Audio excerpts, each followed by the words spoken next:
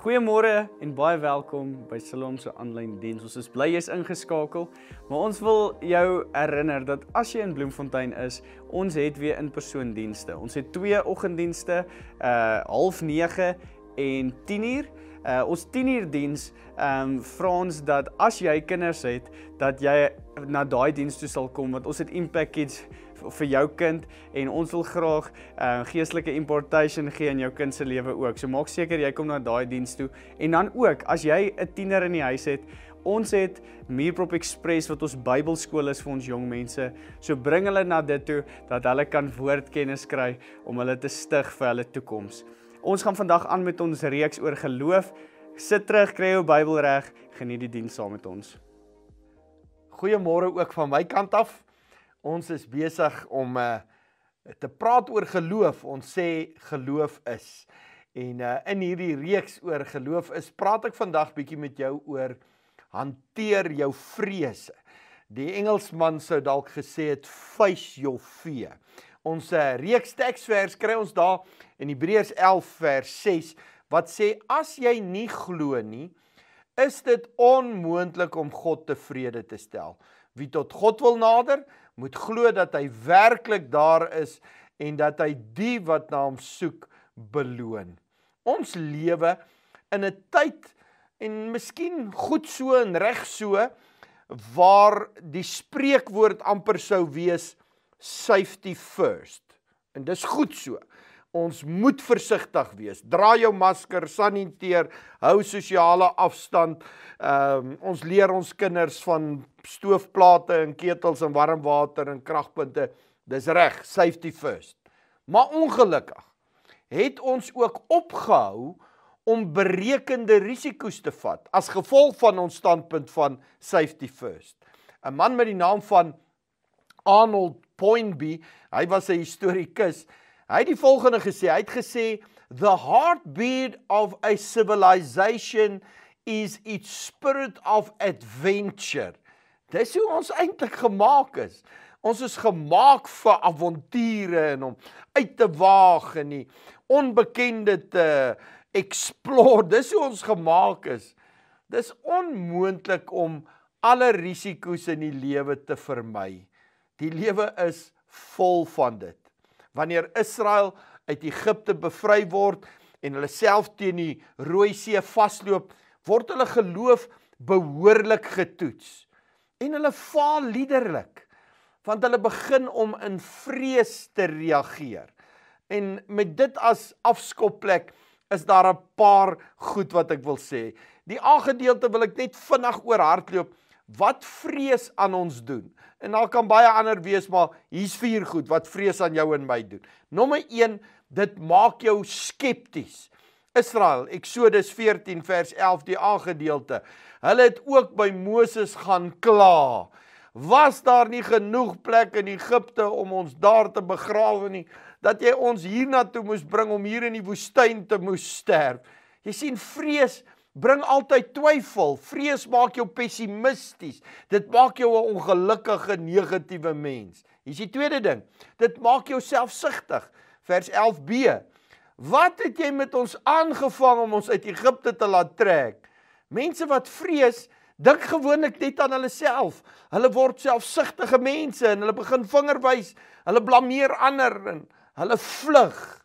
Punt nommer 3 dit maak jou hart koppig vers 12a het ons nie vir jou gesê om ons met rus te laat toe ons nog in Egipte slawe was nie? Vrees maak dat ons verandering weerstaan. En hoor mooi wat ek sê. As jy iemand is wat verandering weerstaan is jy iemand wat waarskynlik opgehou groei het. Want as jy verandering weerstaan verhinder jy groei in jou lewe goed moet verander om te kan groei. Hier's die vierde ding. Dit maak jou kortsigtig. Eksodus 14 vers 12 die B gedeelte. Dit was beter om slawe in Egiptenaars te wees as om lyke in die woestyn te wees. Hulle wil teruggaan na die goeie ou dae. Hulle wil weer die status quo handhaaf. Hulle sien nie God se groter plan raak nie. Dit is wat vrees in ons lewens doen. Maar kom ons praat bietjie in die tweede gedeelte van die preek oor hoe om geloofrisiko's te neem. Um en en en ons geloof in aksie te sit.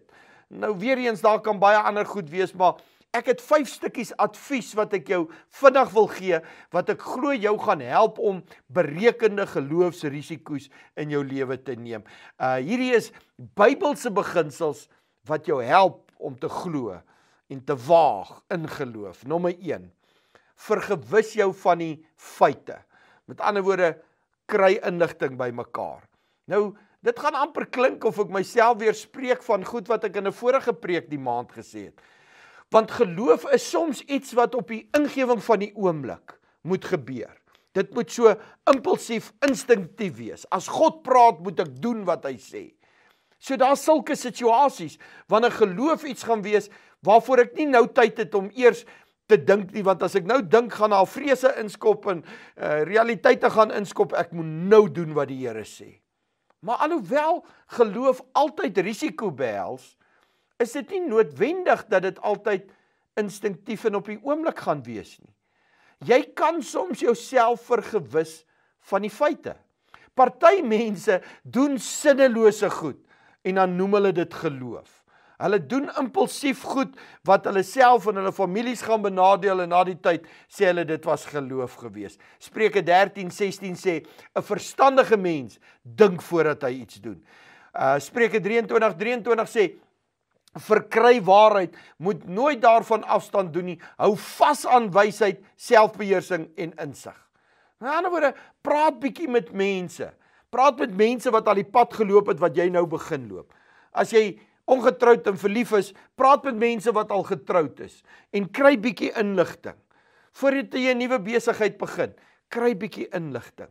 Dis deel van geloof is om om te dink en inligting bymekaar te kry. En twee, bereken die koste. Dit vra so 'n bietjie evaluasie. Lukas 14 vers 28 Moenie eers begin voordat jy die koste bereken het nie. Want wie sal met die oprigting van 'n be gebou begin sonder om eers 'n kwotasie te kry en te sien of daar genoeg geld is om die rekeninge te betaal? Anders kan jy dalk net die fondament voltooi voordat die geld opraak en dan sal almal mos vir jou lag. Dan sal hulle sê daardie kerel het mooi begin bou, maar sy geld was op nog lank voordat hy klaar was. Of watter koning sal ooit droom om oorlog toe te gaan voordat hy saam met sy raadgewers gaan sit en beplan het of hy met sy 10000 man sterk genoeg is om die aankomende 20000 soldate te verslaan. Met ander woorde, ek dink daar's 'n Bybelse saak te maak. Analiseer jou risiko. God wil nie hê jy moet dom risiko's neem nie. Vra vir jouself, is dit regtig nodig? Is dit die moeite werd? Die bottom line bly, hoor God se stem en doen wat die Here sê. Partykeer gaan dit impulsief, instinktief wees, maar ander kere moet ek net eers so bietjie die kostes bereken. Hier's punt nommer 3. Beplan jou stappe van aksie. Dit vra partykeer voorbereiding. Spreuke 14:15 sê 'n dwaas glo alles wat hy hoor, 'n verstandige mens oorweeg elke tree wat hy gee. Rick Warren het op 'n stadium gesê, "The four keys to accomplishments are plan prayerfully, prepare purposefully, proceed positively, pursue persistently. Met met ander woorde, geloof is soms om aan te hou bid daaroor, nog inligting by God te kry en doelgerig in die rigting te stap wat die Here sê ek moet stap om om vorentoe te beer. Ek gaan my doel bereik. Maar ek moet dalk 'n plan van aksie om dit te doen. Spreuke 20 sê planne slaag wat op goeie raad gebaseer is. Kry eers raad voordat jy oorlog maak. Hier's punt nommer 4. Wat wil jy bereik? En hierdie wat wil jy bereik gaan party dalk sê dis my visie wat ek uitspel. Ander gaan sê dis dalk my geloofsbelijdenis. Wanneer ek my geloof begin verbaliseer vir iemand anders sê wat ek gaan doen en wat ek verwag. Ons is baie keer huiwerig om dit te doen. Uh ons wil eers kyk wat gaan gebeur voordat ons vir mense sê want want sê nou dit werk nie uit soos wat ek gedink het gaan uitwerk nie, dan gaan dit sleg op my reflekteer. Nou, jy sien ons is so met die ek gepla en met my selfbeeld gepla. In plaas daarvan om sommer net die Here se aandeel te eer in wat ek gaan doen. Jakobus 4 sê, julle moet eerder sê as die Here dit so beskik, sal ons lewe en sal ons dit of dat doen. Wanneer jy ander begin vertel, bou dit jou eie geloof en dit maak jou verantwoordbaar teenoor mense. Dit maak ook dat ander gelowiges saam met jou die Here kan vertrou. So verbaliseer bietjie jou geloof. Kry goeie Christen vriende met wie jy daaroor kan praat en dit met hulle kan deel. Hier's die 5de een. Waag in geloof. Met ander woorde, iewers moet jy inisiatief neem. Mense dink ek is baie so skilpaaie. Jy maak net vordering as jy jou kop uitsteek. As jy daar in jou dop gaan bly, in jou gemaksone gaan bly, dan gaan daar niks gebeur nie. Dis nie geloof nie. Geloof is 'n risiko. 'n Trapeze artist wat daar bo aan die swaai rond swaai, hy moet eers die een kant laat gaan voordat die ander kant hom kan vang of voordat hy die ander kant se swaai kan gryp. Dalk is dit tyd vir jou om God te vertrou. Maar dan moet jy let go. Jy moet jou seer, jou verlede, jou sekuriteite, jy moet dit laat gaan. Petrus kon 'n 100 maal daai dag op die see van Galilea vir Jesus gesê het, ek glo, ek glo, ek glo, ek glo. Maar hy wys dit toe hy in die boot uitklim. Vrees maak dat hy weer sink. Vrees maak dat Israel wil terugdraai as hulle teen die Rooi See is.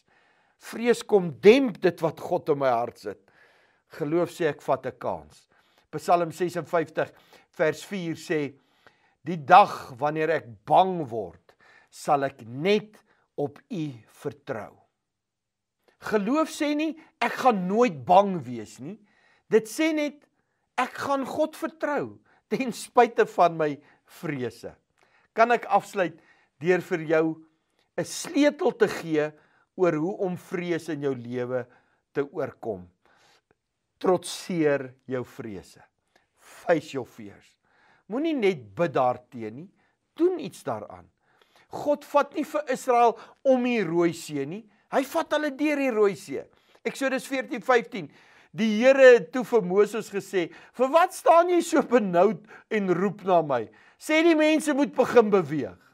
Nou is my vraag vir jou: Wat is jou Rooi See? Wat is die ding wat tussen jou en God staan? Wat is die ding wat jou vandag vreesbevange en angsvallig maak? Ek dink God sê dalk vir jou: "Hey ou, hoekom staan jy net daar so benoud tot my en roep? Gaan oor tot aksie, doen iets. Kom in beweeg." Geloof sê: "Gaan hierdie goed wat my bang maak in die naam van Jesus trotseer. Gaan daarvoor kyk. Gaan dit aanvat. Want saam met my God gaan ek die oorwinning behaal." Dis geloof. Ek gaan nie vreesbevange raak nie. Ek gaan nie probeer terugdraai na 'n ou lewe en weer die goed van die verlede doen nie. Ek gaan my vertroue in die Here sit. Dis waar my oorwinning is. Kom ons bid saam. Vader, dankie dat U deur die Gees geloof kom werk in ons harte. Dat ons God bo alles sal vertrou en tyd sal vertrou en dat U vir ons die deurbrake gee. Dankie vir deurbrake, vir wonderwerke en elkeen se lewe wat na my luister en kyk vanoggend. Ek bid dit in Jesus se naam. Amen. Ons is nou by die einde van ons diens waar ons jou die geleentheid gaan gee waar jy kan belê in die koninkryk. Jy kan die skerm dophou vir al die details. Jy kan gee deur vorm van Zapper, SnapScan, EFT of jy kan 'n draai maak by ons kerkkantoor in kantoorure tussen 9 en 12 waar jy jou kontant kan kom gee of jy kan uh, kon gebruik maak van ons kaartfasiliteite. Jy moet 'n geseënde week hê.